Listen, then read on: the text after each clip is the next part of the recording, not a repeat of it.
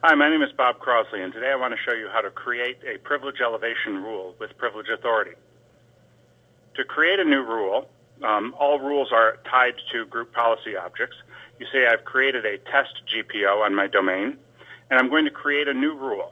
This rule is going to let users who don't have admin privileges change the time zone on their laptops when they travel.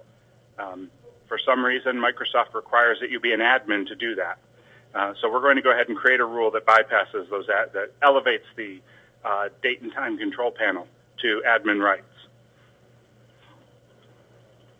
So I'm just going to give it a name, change the time zone, and I can give it a, a description so it's easier when I have a lot of rules to see what it's going to do. Allow laptop users.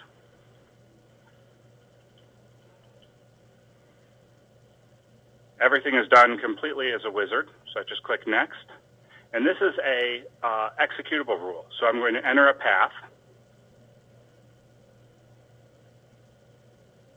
So I've entered the path and the arguments that I need to um, that I need to pass to uh, elevate the, the uh, time, date and time control panel. I click Next. Now I can pick the user account or the security group um, that I want to run the process under. Uh, the most obvious one to do is just to use built-in administrators, and you click the first button. Now, the next thing I want to do is use validation logic to target this rule. Um, the requirements to uh, elevate the time zone or the date and time control panel are different between Windows XP and Vista and Windows 7. So this is an XP rule. And the last thing I want to do is, is possibly narrow down who the rule applies to. So, for example, um, I know in my organization the folks with laptops that do most of the traveling are field sales.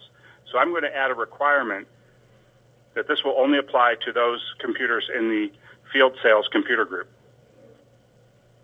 Once I've done that, all I have to do is click Finish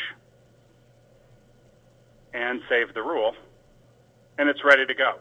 Uh, at this point, any machine that receives the test GPO1 group policy object that is in the field sales group and running Windows XP will have this rule applied to it. So the next time the user wants to change the time zone, they will be able to go ahead and do that.